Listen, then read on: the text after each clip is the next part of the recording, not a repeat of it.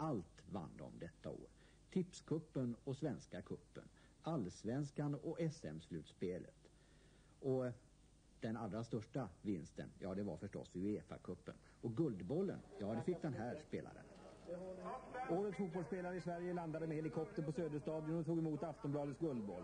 Torbjörn Nilsson i Göteborg, numera professionell i västtyska Kaiserslautern, hyllades med traditionellt fyrfaldigt leve.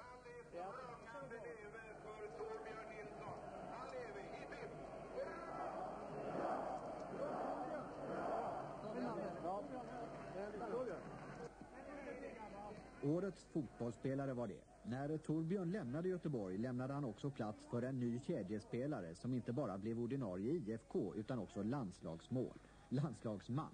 Och årets mål i svensk fotboll, det gjorde han också, Håkan Sandberg.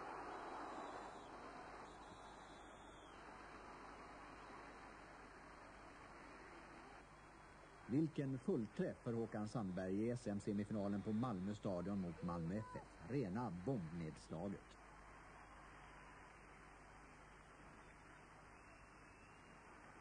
Söderstadion eller Ullevi, det kvittade lika. Hägersten, Hot Heaven och Hammarbys anhängare hördes lika intensivt på höstkanten, var de än var. Omdiskuterat blev det. Störde det spelarna och annan publik? Hur som helst, något